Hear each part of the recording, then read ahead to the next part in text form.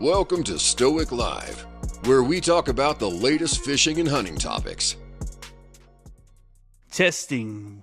One, two, three. We are live, guys. What is going on, guys? Welcome to the first episode of Stoic Live. So, I wanted to change it up for you guys, man. I do a lot of fishing and hunting, yes, but uh based on uh, my recent life, uh things that are going on in my life right now, I wanted to change it up and just talk to you guys and make this more of a, like a live broadcast. Don't really like edit the video as much as I normally do because that's like one of the things that I really really don't like to do is edit videos, especially long videos, 30 minute, 40 minute videos. So I wanted to make this video just to be talking to you guys. And eventually I want to be able to rip the audio and put it on like a little bit of a video podcast, man. So uh, I thought that'd be pretty cool for you guys just to change it up instead of doing the same stuff over and over again. So let me pull up my notes here real quick. And uh, yeah, man, I wanted to give you guys two quick life updates of why I haven't been posting as much. I know I have a lot of people on YouTube, a lot of people on Facebook, uh, TikTok, and uh, people have actually been sending me emails like, "Yo, bro, why haven't you been making videos?" Well, once uh, once you have a kid, man, your your priorities really change I still enjoy fishing. I still enjoy hunting, but when I'm off, man, uh, I really want to spend time with her and my brothers and my family. Recently, my father-in-law passed away and uh, lost my dad a while back, so I always uh, try to do things with the family just to try to make memories, just to try to like you know go out to like a pumpkin patch. You know, Halloween times is right now, Thanksgiving's coming up, Christmas, but uh, I still wanted to make videos because that's what I enjoy doing as well, man. I like my business, Stoic Outdoors, and the whole mindset is uh, be resilient on the water and off. So I still wanted to keep pushing through. So let's uh let's get into this topic of the video, which is how to uh, fish for South Texas redfish, or this let's just let's just title it South Texas redfish fishing tips. I wanted to give you guys three tips that you can take home. And uh, you can also comment below if you have your own tips. If you guys have had something that that really really works for you and you wanted to share it with other people that's what I really enjoy about this uh, community, man. This Stoic Outdoor uh, YouTube channel that I have. There's a lot of people that comment below, and uh, they, they, like to use their own, uh, you know, methods and, and tricks to catch fish. And there's people that can come to this video, and they can actually learn from other people as well as myself. Because when I started off fishing, man, I uh, I actually reached out to a few people, and it's crazy uh, I don't know what it is, but down here in the Rio Grande Valley, but there's some people that just do not want to give you their tips, do not want to give you their tricks, their secrets. But for me, man, I'm a open, I am I am an open book. If I can teach someone, if someone can learn something from my video, even if it's just one thing, man, and it just sticks with them and they go out and it works for them, hey, comment below as well. Just say, hey, Stoic, I tried this out. It worked. Hey, Stoic, I tried this out. It didn't work. Well, we can learn together. We can try to push through this together as a community. So, redfish fishing tip number one, specifically down here in South Texas, the Laguna Madre, specifically South Padre, Port Mansfield, Arroyo City, all that good stuff. I like to use a lighter diameter line. I like using 10 pound Power Pro. Sometimes you can get it on sale for $8. So don't go out there and spend $20, $25 on a roll of line. I like using 10 pound. Why? You can really cast that lure out there and yes it makes a huge huge different a difference especially when you're fishing with a line of people because i do a lot of wade fishing trips with my cousins. I do a lot of wade fishing trips with my buddies. And there's like four or five of us on a line man and sometimes my buddies are using 20 pounds sometimes my buddies are using 30 pound and i like to use 8 pound i'm sorry 10 pound. There's actually some of my buddies i like using 8 pound as well. Why? When you're in a line just remember you can cast that lure further out uh, as opposed to using a heavier diameter line, and that lure is not going to get the same casting distance as it would if you're using something lighter. That means a big di- that makes a big difference, especially if you're sight fishing. If it's super shallow, super clear. You remember, if there's not much wind, even if there is a little bit of wind and you're shallow, every time you take a step, those South Texas redfish are gonna hear the momentum. They're gonna hear the the movement. They're gonna hear the vibration in the water. They're gonna they're gonna get the ripples, the momentum whenever you're walking, and that's going to spook them. So if you're using something lighter, you can cast that lure five to 10 yards further than your homie to your left or your homie to your right. that makes a huge difference, especially during tournament times, man.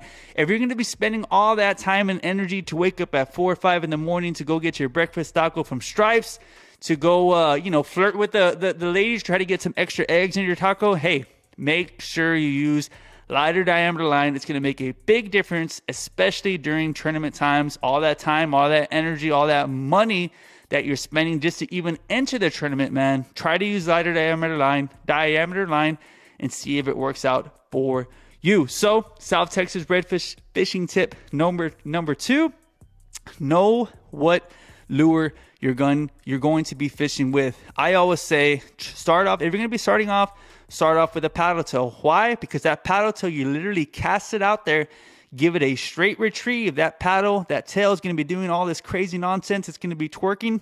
It's going to be doing this, and those redfish and trout are going to hear the vibration. They're going to spe- smell it. I like using scent on my lures. They're going to smell it. They're going to come in and they're going to hammer your lure. If you're also, if you want to try something else, try a shrimp. Everything eats a shrimp. Remember that redfish, trout, flounder. I know this this uh, videos about redfish, but that shrimp, everything's gonna eat a shrimp. Sometimes you go out to fish a tournament and, and it's like a weird calcutta, uh, skipjack, or a catfish. Hey, it's still gonna eat that shrimp, remember. So know what lure you're gonna be fishing with. Like I said, I recommend throwing a paddle tail, even a, a shrimp if you're gonna be starting off. I have the Bay Villain. If you're interested, it's a little bit of a jerk shad. What do I mean by that? Throw it out there, pop, let that lure sit, pop, pop, let the lure dance in the water.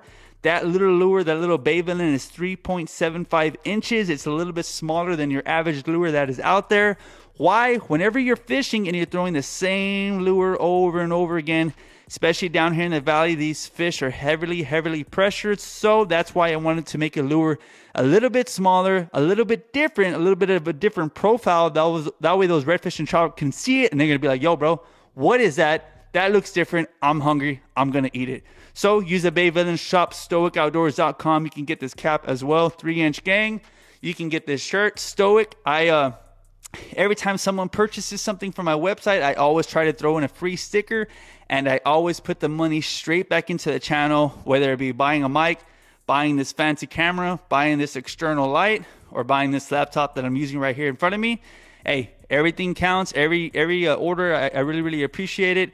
And uh, actually, speaking of that, I actually had some orders went out that I shipped out to Florida. The Bay Villain was going out to Florida. So if you guys watch this video and you're from Florida and you order my lures, I appreciate it. For those that are watching, use coupon code STOIC to save some money on your next order. So let's get to fishing tip number three. Use the right color whenever you are fishing. What do you mean by that, bro?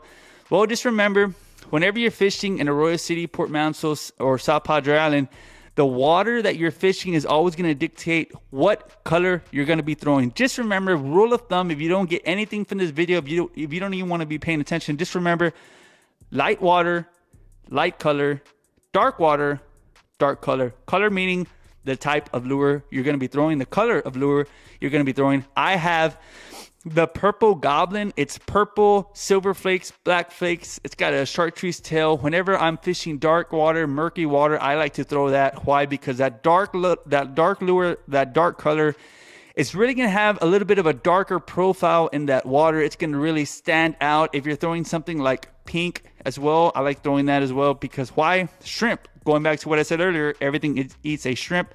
But let's get back to the what I was talking about, that dark color is going to have a darker profile. It's going to look a lot cleaner in the water. It's gonna it's gonna stand out. Those redfish, trout, and uh, flounder, they're gonna be able to keen in on it. Especially since my lures are scented, they're gonna come in and hit your lure. Whenever you're fishing something like super super shallow and that water is super clear, I like to throw the uh, the the white color that I have with the chartreuse tail. It's got some silver flakes. It's a little bit more natural. And why do I like throwing that color? That chartreuse tail, those ribs on the end, whenever you pop, it's going to have a little bit of, a, of, a, vibration. And if you don't like using that, hey man, cut off the ribs. That lure is going to drop down to 3.5 inches. and it's gonna look like exactly it's gonna look exactly like an injured baitfish, an injured shad in that water, man. Try it out. If you guys uh, want to order my lures, use coupon code STOIC and you can use uh, that coupon code and you can try out the lures for free. And if you guys have watched this video, drop a comment down below. Yo, bro, I ordered the lures and man, I'll hook you guys up, especially for this being the first Stoic Live. I'll try to put in some extra uh, stickers. I'll try to put in some extra uh, like patches for you guys, man, as well. So, quick recap, reek dude, can't even talk right. But hey, but that's how it goes. Stoic Live. We're gonna we're gonna leave this on here. I'm not gonna edit it as much as I normally do, but that's just how it goes. But red redfish fishing tip number one: lighter diameter line. Get that extra casting distance. Trust me. And uh, fit, re, South Texas redfish tip number two: know what lure you're gonna be throwing. Start off with a paddle tail or a shrimp, or use a bay villain. Redfish fishing tip number three: using the right color for the water that you are fishing for. So thank you guys for watching this video. I know I had a lot of my plugs. I had a lot of hey yo, buy a shirt, buy a cap, but this that's just how it goes, man. When I first uh, started off my YouTube uh, journey, I had a lot of people hitting me up, yo, bro, can you use this? Yo, bro, can you use that? And I did it because I like to help out my friends. Those guys weren't paying me. But then I got to people that were actually going to be paying me to pr- promote their product. But then they started getting me with, hey, bro, I need three videos a week.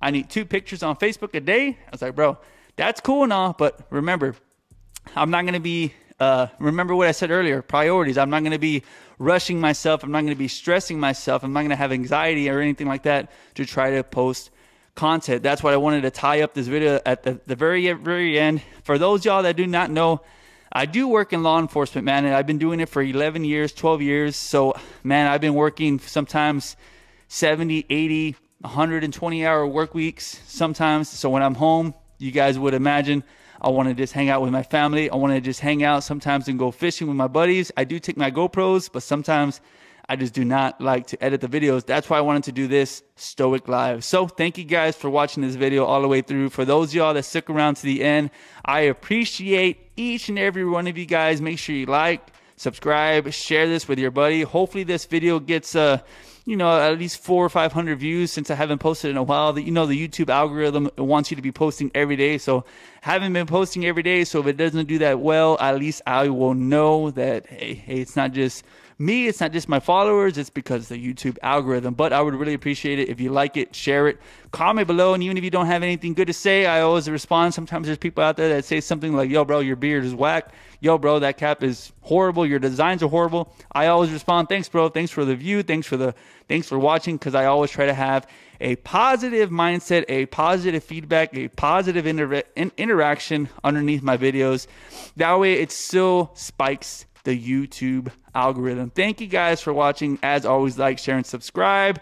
Remember, be resilient on the water and off. Peace. Thanks for tuning in.